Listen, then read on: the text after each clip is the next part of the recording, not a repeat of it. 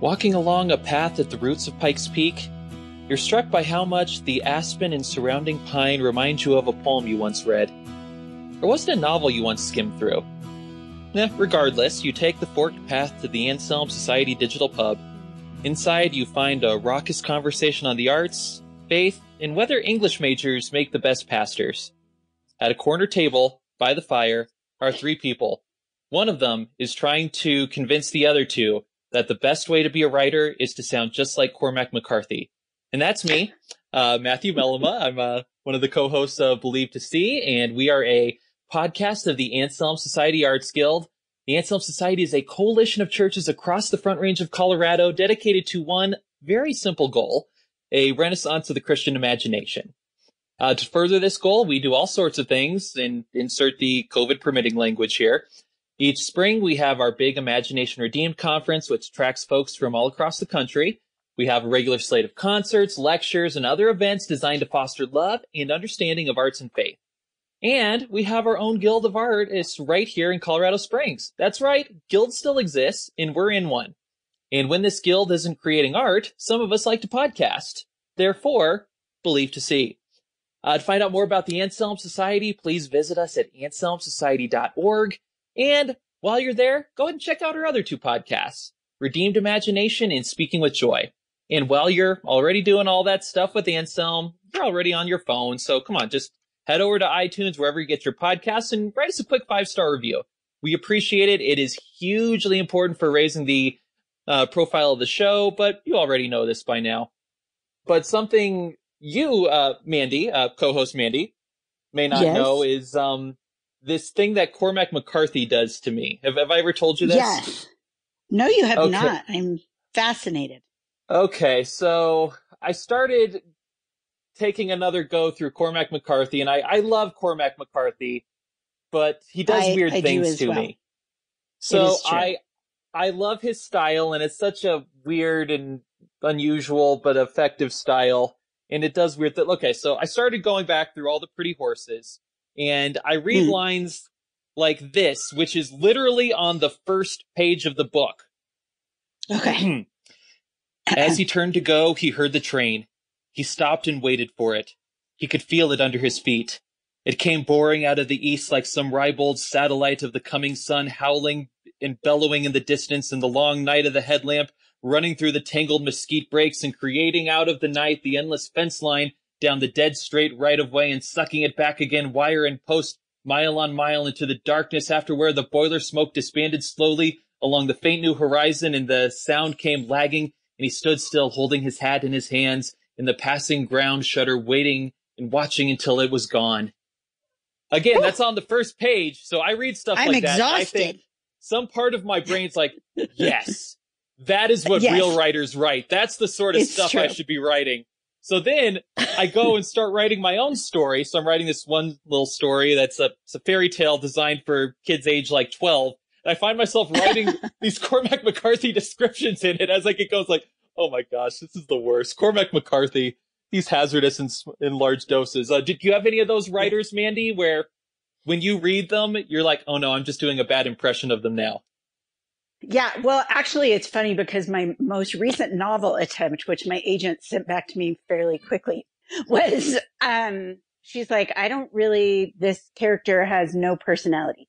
And it was because I was trying and failing to write like Shirley Jackson, because Shirley Jackson writes characters that seem, um, they're just, they're not really normal humans. They are, they are in depth but that's just not how I write. So it's, yeah, it, there, you got to strike a balance between being inspired and learning from authors, but not trying to imitate them, especially as your editor, Matt. I would yeah, oh, say, that- I don't think the Cormac McCarthy would really work for your little dragon stories. That's true. Sure. As, as my official editor, I think you have some say so here. You're saying I should not insert Cormac McCarthy elements into my children's dinosaur story. No, I will turn them into like 12 sentences. turn All your right. one sentence into 12. Yeah. Du- duly noted. Duly noted. Okay. And uh, something else I have, I have duly noted is uh, our guest yes. this week I'm really excited about this. I think it'll be a really interesting topic. But uh, Mandy, you suggested our guest this week, and for a a very straightforward reason, why don't why don't you introduce our guest? our guest is Spencer Sweeting. He is the pastor at my church, North Springs Alliance. He just joined us in July, and I have just been fascinated by all of the just the various references he makes during his messages and I, they vary widely and they're fascinating. He even, he quoted P.D. Eastman this past Sunday from Are You My Mother? I mean, right, Spencer? I guess I, I could did. let you say hello. Yeah. I don't know how to introduce. I did. I I uh, yeah. I dropped a P.D. Eastman reference this week. Yeah. Yep. Yeah, you did. So. Yeah, and a couple weeks ago, you you quoted Wendell Berry and Brian Regan in the same like within a, two minutes of each other.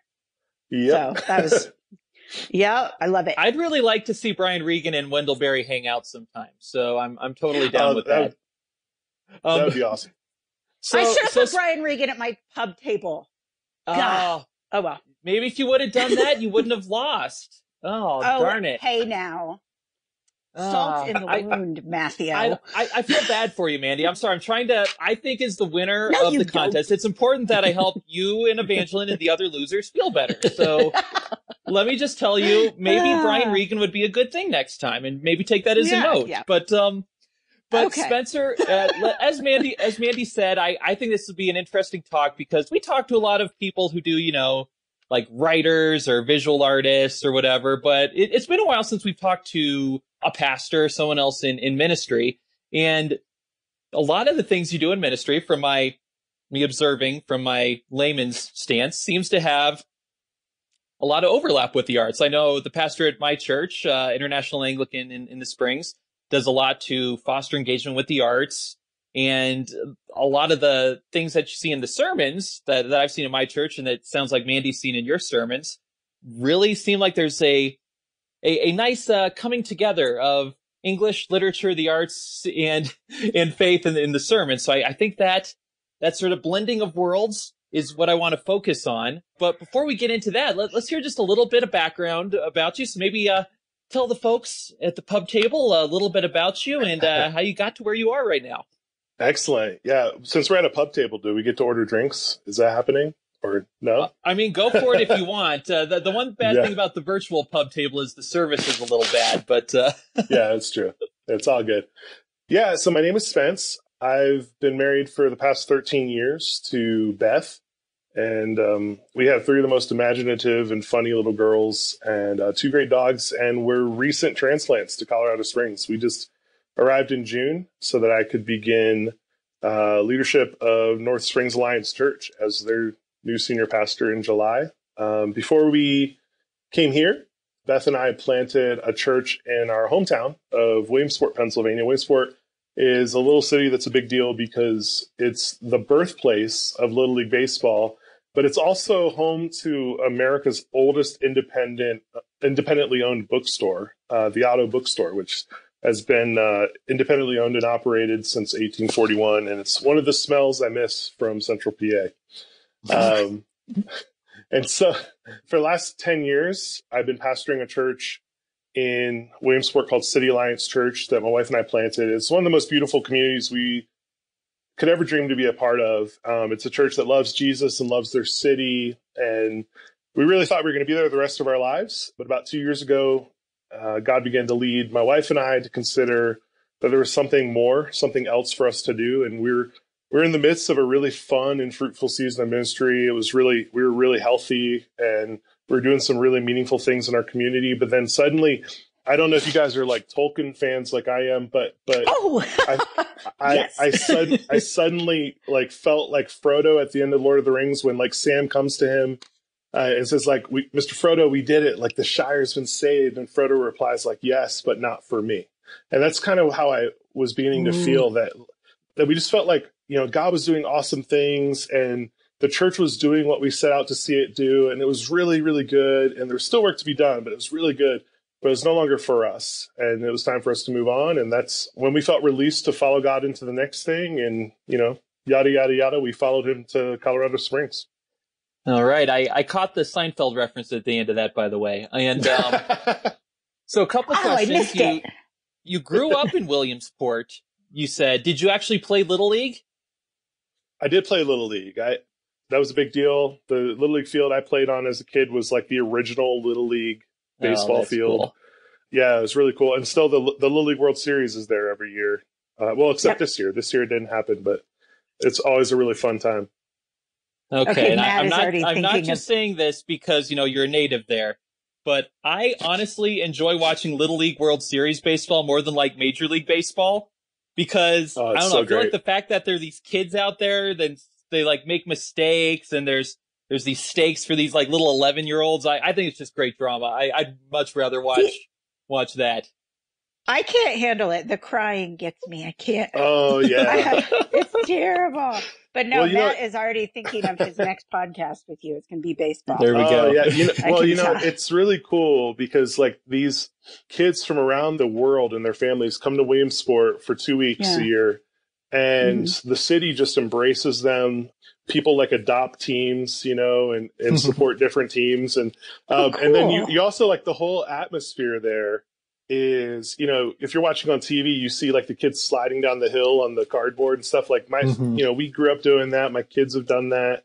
It's awesome and then Major League Baseball really took an active role in it to try to be like you know promote baseball uh, kind of an ambassadorship. And and so they started bringing major league teams to come play an exhibition game. Well it's a real i guess- shouldn't say exhibition. It's a real game. They play it every year now.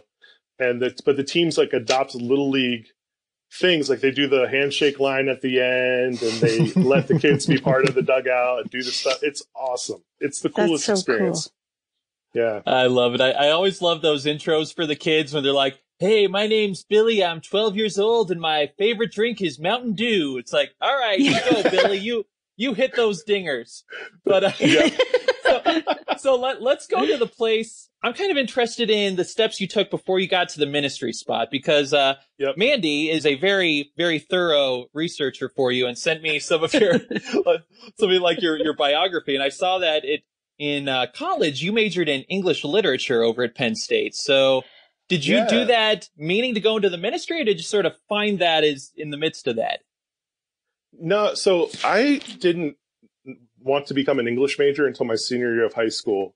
I was a kid who was not a very motivated student, but I was very active in sports and music, and I really got into theater in high school. And our school district had like different levels of classes. So there was like the honors classes that were advanced, and then there were the other classes.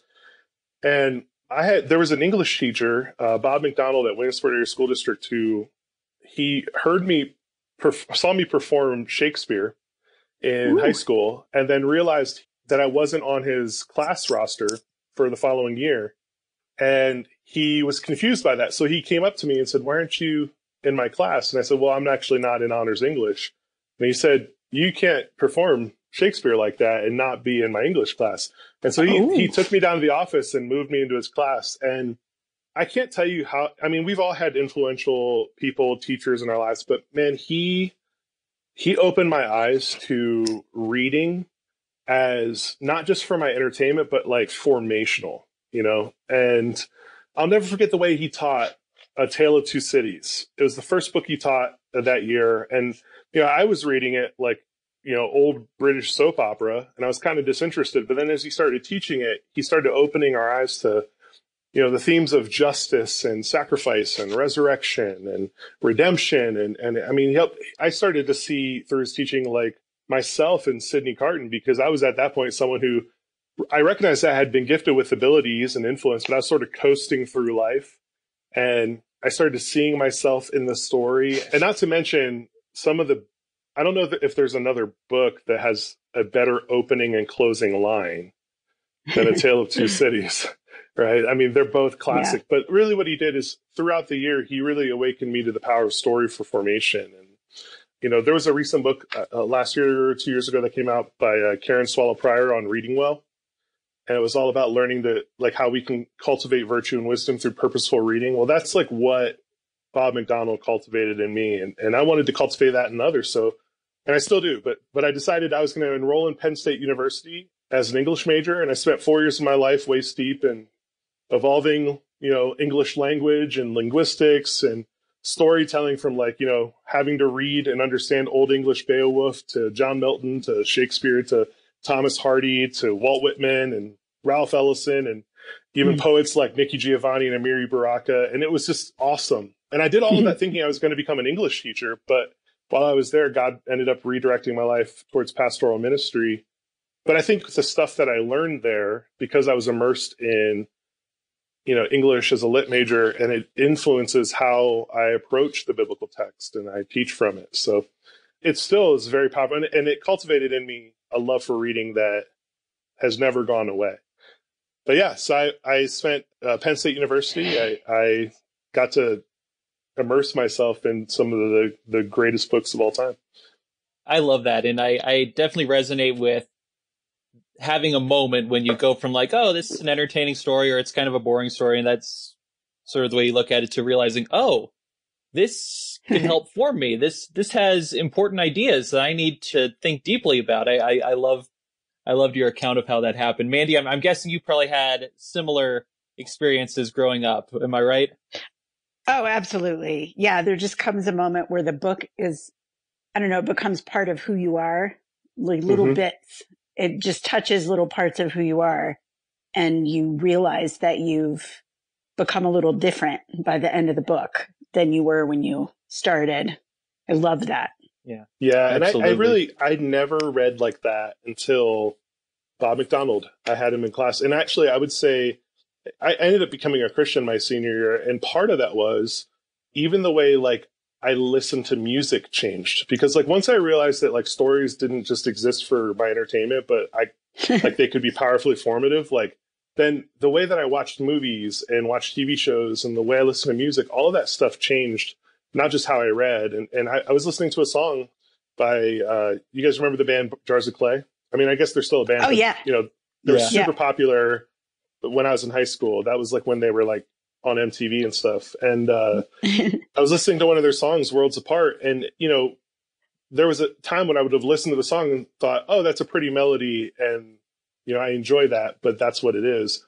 But I started right. listening to the story of the song and like heard myself in the song. And mm. that really is what like kind of opened me to grace and recognizing that I needed Jesus. And so like all of that like everything changed for me because of this this new way of reading as formation that I experienced under that teacher.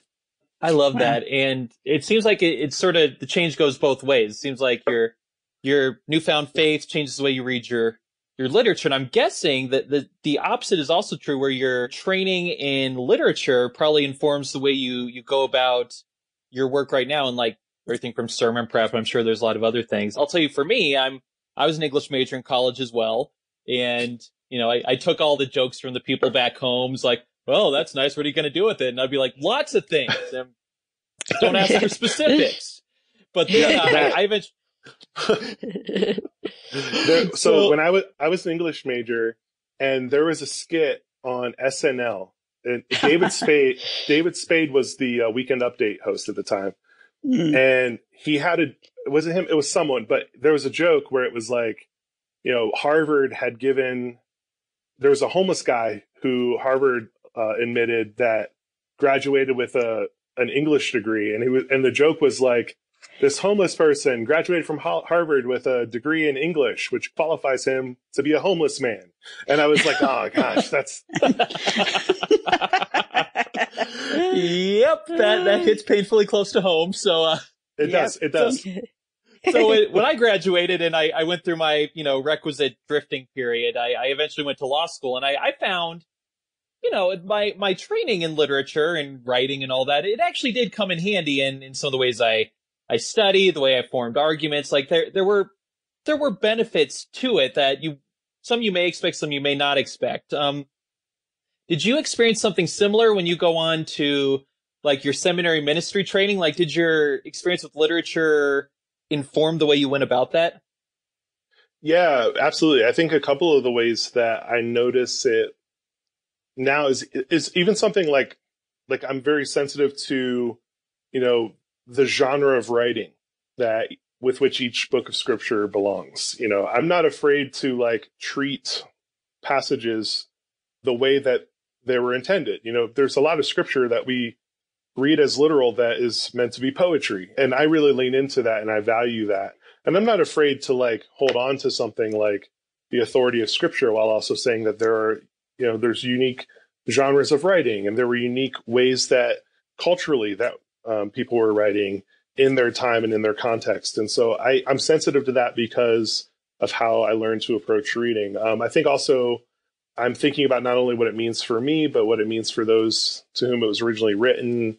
But I think the biggest thing is that I'm always sensitive to how the stories or passages that I'm reading or that, you know, I'm preparing a sermon from actually connect to the bigger story that scripture is telling us.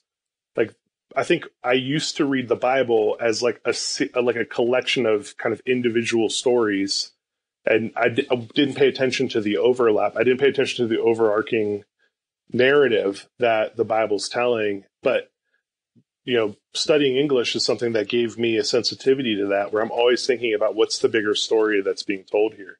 Yeah, that's great. And I, I definitely resonate with that. I, I remember in college, I had a, a Bible teacher who was really talented at, at just what you're pointing out, just like going through the text, looking at the bigger story. And, and something he was really great at doing was he would just find these, you know, go through like a passage in like first Samuel or like second Kings or something and, and point out how like wordplay or a theme would come about and, and would teach something important in the story. And it's just like, wait, you can do that?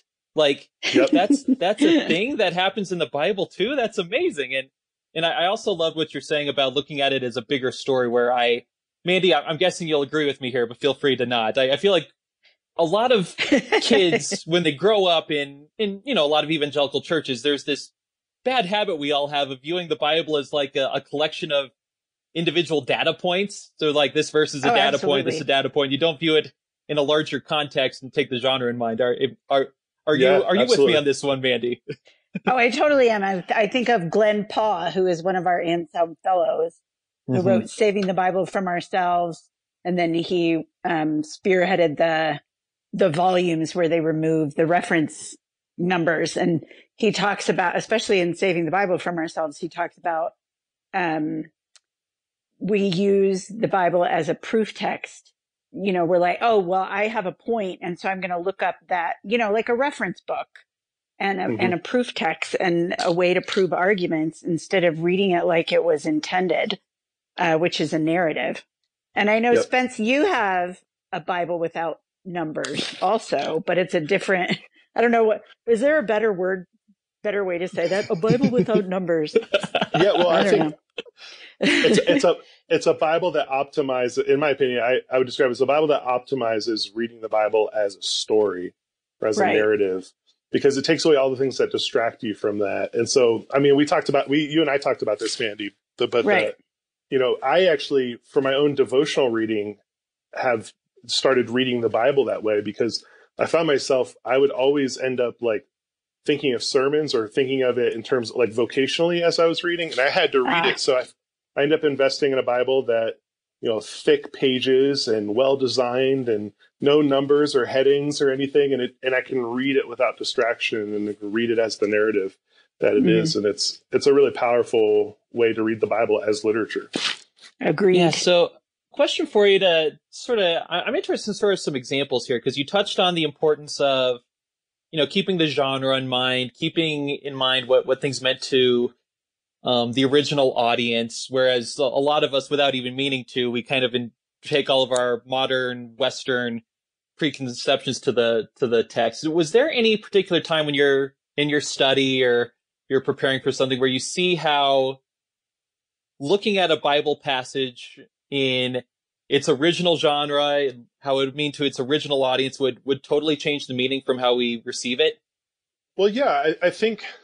Oh man, my my mind's flooding a little bit. The, the I think that even something like reading Genesis one, like Genesis one is written like an epic poem, you know, and we read it like it's part of Chronicles, and so I think we lose some of the beauty of that story. Like like the point of that story is that God created everything, mm-hmm. you know, and who God is as a creator and like the order and the systemic goodness with which God created everything. But if we read it like it's a history book, like First and Second Chronicles are, then it's we're going to lose the beauty of that, and it's going to.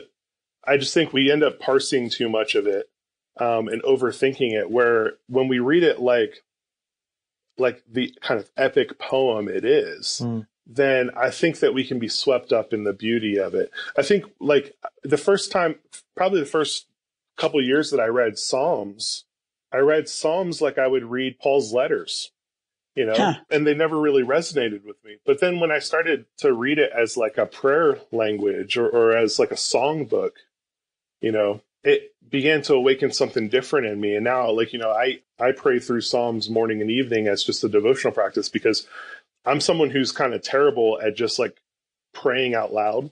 Um, cause I always want to sound like smarter and more eloquent than I am. Uh, but so I, I just sort of end up speaking, you know, you were talking about like taking on too much of authors that influence you, the uh, authors' voices like Shirley Jackson or Cormac McCarthy. Well, right.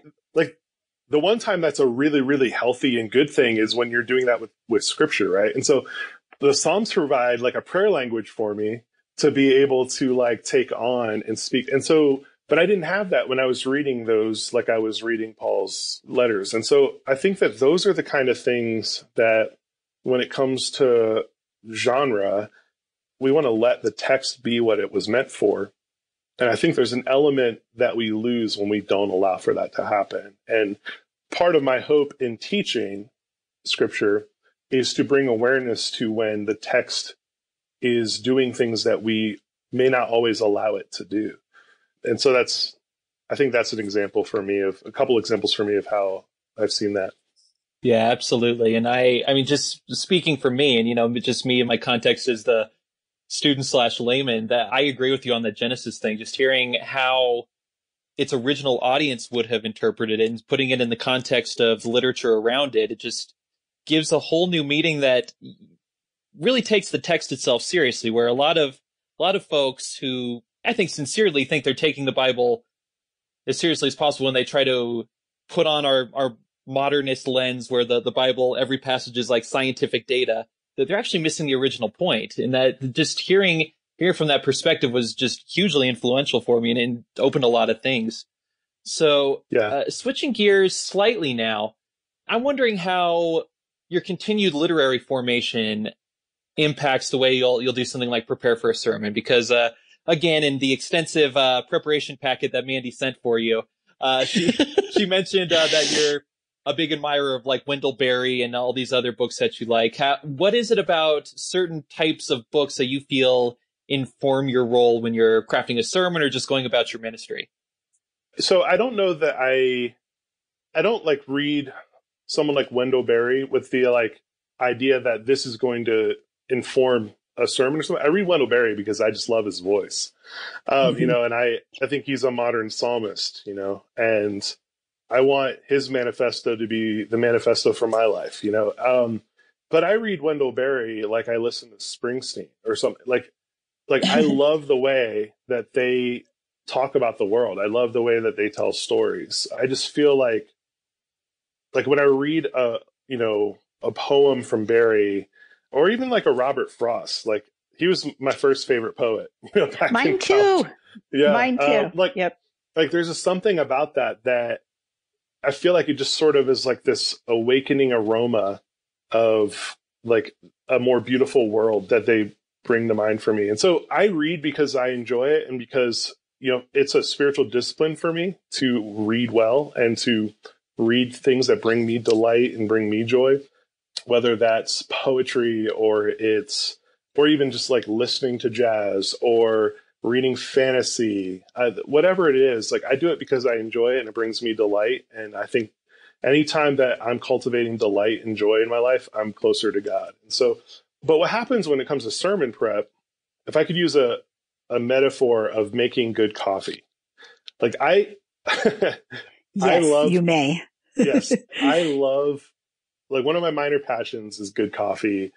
Uh, so much so that making a pour over a French press when I get to the office is a bit of a ritual for me to like, start the day. Um, but I think mm-hmm. preaching for me is like making coffee. So my stories, my experiences, um, the things that I read and the inputs that I'm putting into myself, all the cultural references that are like stuck up in my mind palace, that's like the coffee grounds. And then the scripture and the Holy Spirit, that's the hot water being poured out and soaks up the grounds. And, you know, the, and as that water flows through, like the sermon is the coffee that I then serve, you know, and so I, I think that my sermons are hopefully uh, mostly made up of a faithful representation of of what the scripture says and what the Holy Spirit is telling me, but it's going to be flavored as my life is steeped in that process. And so, in that sense, like everything that I consume, whether it's film or books or music or just experiences, like all of that stuff becomes a potential source when it comes to preparing a sermon. And so, as I'm processing my sermon prep, I probably doesn't look very much different than most pastors. Like I, you know, I have my Bible, I have maybe a couple translations, I do some word studies, I have a few commentaries I'll pull out depending on the passage and topic. But but as I'm processing a word or an idea from scripture, it might trigger something that came from a book I read or a movie I watched or a podcast I listened to or you know, a conversation I've had. And and and that stuff comes to mind. And as it comes to mind, I'll like write notes down and then I kind of just like follow up with it to see if it adds or distracts from where I sense the Lord is directing me. And so, like an example of that is a week or two ago, I was teaching on gentleness, and as I was studying the word gentleness as a fruit of the Spirit, the the word study I was doing led to a definition of gentleness as uh, restrained strength. And I just thought that was really beautiful and powerful, and not a way that we often think about gentleness but as I wanted to articulate what restrained strength was, I wanted to talk about what unrestrained strength was. And the first thing that came to mind was Lennie from Of Mice and Men. And that's where I went with it was like, you know, Lennie is kind-hearted, but he has unrestrained strength and that that destroys. And so he doesn't know what to do with his strength. He's unable to control it. And that leads to roughness and destruction and that's the opposite of gentleness so or like the pd eastman thing from this past week it was just i was talking about self-control and just um, how our passions you know we have an innate desire to be fulfilled um, mm-hmm. but in the absence of intimacy with god we are constantly wandering around seeking after things that will fulfill us. And as i was like processing that for myself the thing that came to mind is that little bird and mm-hmm. are you mm-hmm. my mother? wandering around to every animal going are you my mother? Are you my mother? And, and so i shared it because i figured everybody does that book right? But yeah um, but it wasn't something where like I, I didn't have like pd eastman's book like sitting out and i but i probably read it to one of my kids in the last you know six months but it, it just happened to be there and as i'm thinking about an idea you know, I just, my mind starts making connections to other things. And because I'm a reader and I love movies and stuff, those are the things that my, my wife makes fun of me. I just have all of this kind of, sometimes it feels useless knowledge that's like up in my head that seems to be only good for a trivial pursuit but but you know, or you know trivia night or something at the pub mm-hmm. the, but whenever i'm like meditating on a passage those connections start happening and then it comes down to whether or not I feel like it actually adds to the point that I'm trying to make or if it distracts from it. Well, the yeah, Lennie, that... the Lennie illustration was like perfection. I was watching from home and I was like, oh, because Steinbeck is one of my favorite authors, and the Lennie as, as the unrestrained strength was. I thought, yeah, that was definitely from the spirit for you because yeah. it hit me. Yeah. awesome. Yeah. Yeah. Now, now the other side of that is sometimes because I do have all of that, all of these like cultural references up in, I keep saying mind palace because that's what Sherlock calls it. But uh, because I have all these pop culture references in my head, like sometimes I'll make just a spontaneous joke. Like I did um, a few weeks ago, I cited the popularity of Nickelback as evidence yes. that humanity it was evidence that humanity had a terrible track record of determining what is good in our own eyes. like that wasn't planned. like that wasn't planned out. That was just me not having a filter in the moment. And sometimes like that hits me and I just say it. And and I don't know if that's value added unless it like actually makes someone joke like you know someone laughs at the joke and then they kind of let their guards down and lean in to listen a little bit. But so sometimes that sometimes that does happen, but usually like during sort of the meditation stage of sermon prep because I'll do like an outline and then I just kind of sit with it for a couple days. That's when like the connections start happening and uh, Wendell Berry often comes to mind. I was avoiding Wendell Berry for a bit because people made fun of me at my last church that I referenced him too much. But then Mandy, but then Mandy quoted him on Facebook, and I was like, I commented my favorite line from that same poem, and then it was like, "Did we just become best friends?" Um, yes, I think so.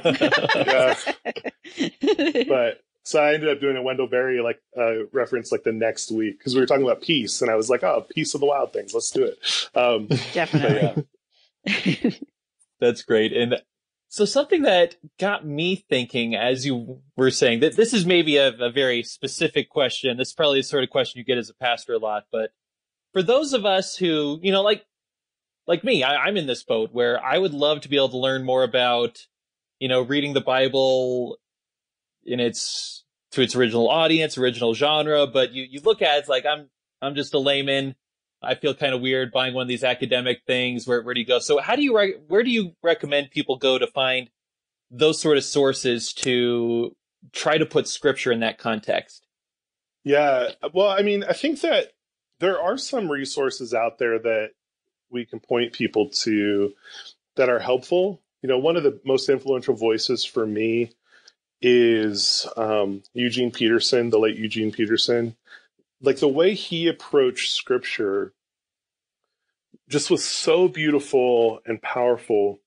And he wanted people so desperately to like really let the word dwell richly. I mean, his motivation for the message he was a local pastor and he wanted people to hunger for the word, but he felt like the the thing that kept them from doing that was they didn't understand it. So he he out of his like pastoral heart started writing a translation of scripture that his people could understand.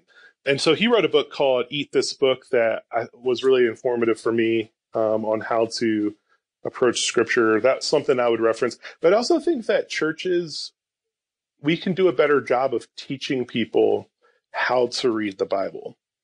In my last church, we did I did a, a whole series just on how to approach the Bible. It was a very different kind of sermon series, but it was all about like the word is good and it's for our good.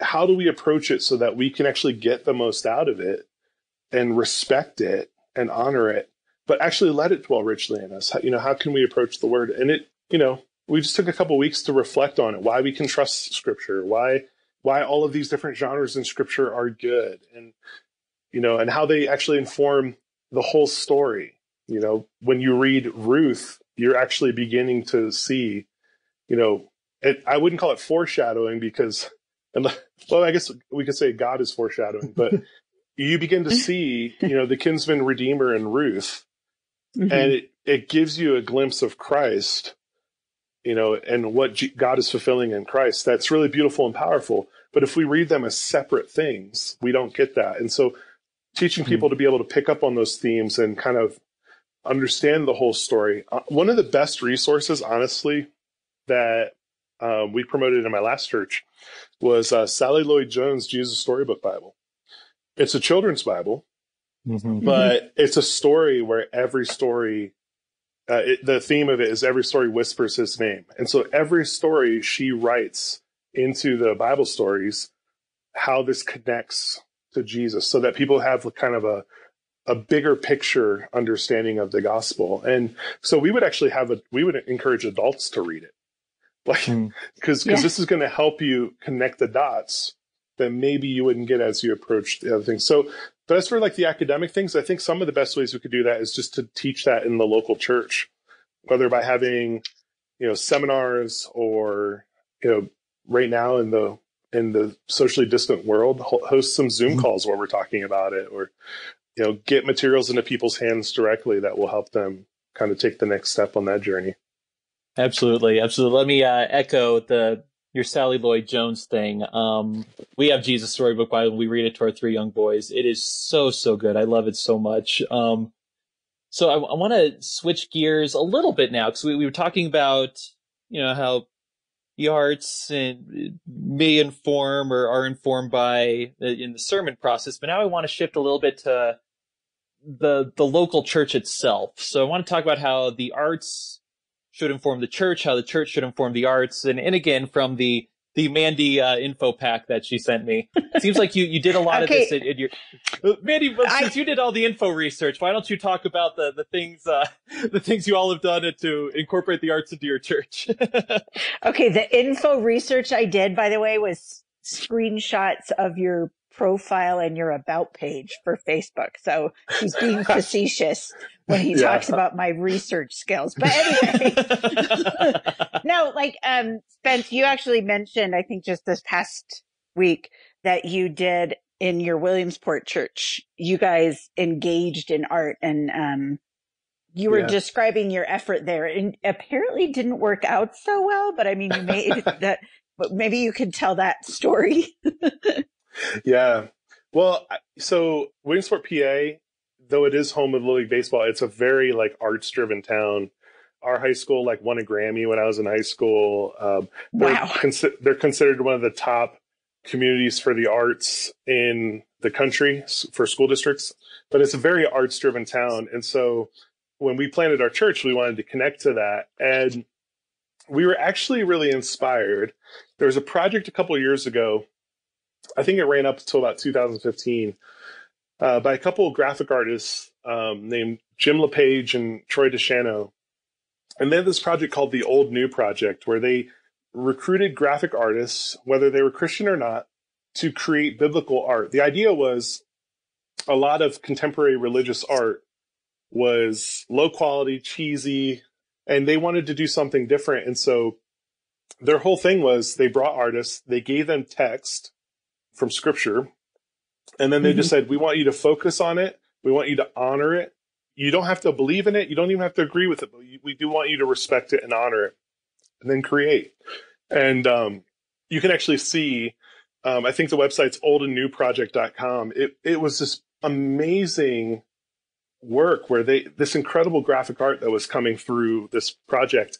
And we were really inspired by it. Um, it was starting up about the time we were preparing our church plant. So we decided someone gave us a downtown space to do whatever mm-hmm. we wanted with and we said we're going to open an art gallery.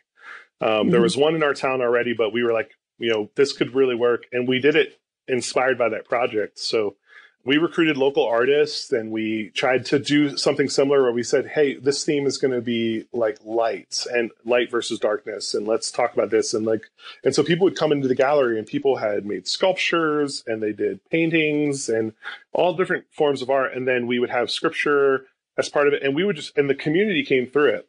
We had some really great experiences once a month. We could get people in there once a month. And the rest of the month, it was just me sitting in an empty room uh, and so after a couple after a couple months, it just didn't make sense for us to continue investing in it. But it did actually connect with people in a way that it was a catalyst for people to check out our church once we began mm-hmm. services. But I, we were just inspired to try to do something where we could engage in different platforms. Um, we tried to host concerts with like different genres of music, whether it would be jazz or world music. Um, we would do things that would attention to international, you know, cultural forms of art. We had a, a family in our church that ran a, a, an organization that did that. We hosted a lot of their work. We felt like there was a time in the history of the world when the best art came from the church, like visually, mm. musically, literary, like it came out of the church. And I loved um, the intro made me kind of really excited to investigate the Anselm Society um, because you talked about you talked about your kind of mission is like the renaissance of our imagination, and I think at its best, like that's what art is. Art is Christian art should be prophetic imagination because we're telling mm. a story about a better world, you know. Mm-hmm. And I'd love to see local churches recapture that um, yeah. prophetic imagination, and I think it comes from leaning into who we are as image bearers because mm. like in the biblical story, we're introduced to God first and foremost as a creator, you know, and mm-hmm.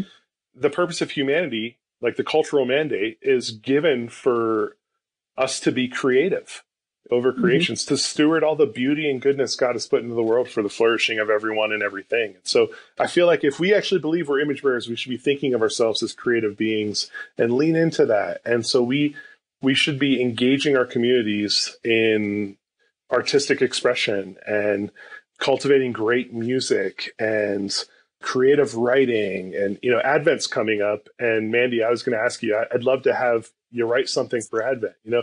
Um, Whoa, like, no pressure like just, it's on the it's on the podcast so. Okay yeah it's official.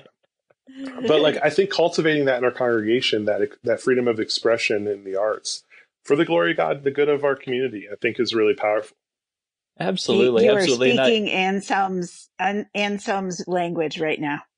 I, I, was going to say just about the exact same thing, Mandy, and uh, yeah, yeah, and uh, just uh, to to that point, one of the things I I appreciate about the Anselm Society is where we describe ourselves as a coalition of churches, and we we really want to help come alongside churches. Like I, I know my the like the church I go to is a say an Anselm partner, and we try to do what we can to incorporate the arts into the church in different ways.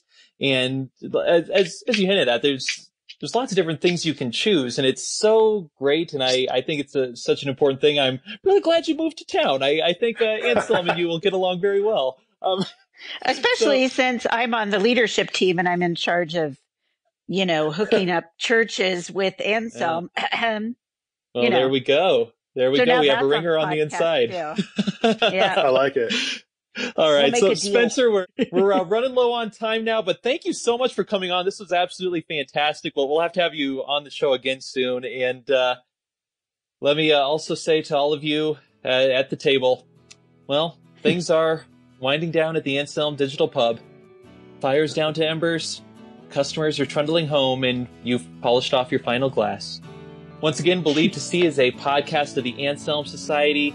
Thank you all for joining us, and we'll see you next time.